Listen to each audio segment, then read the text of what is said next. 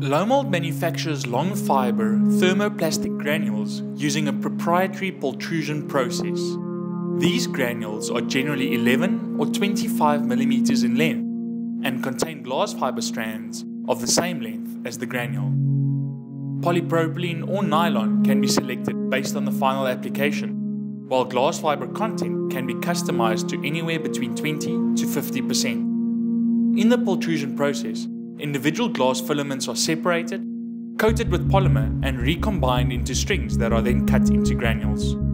Lomold markets its long fiber materials under the brand name Lomotex for use in the automotive and engineering markets. Lomold also uses the material in the production of its award winning pallets.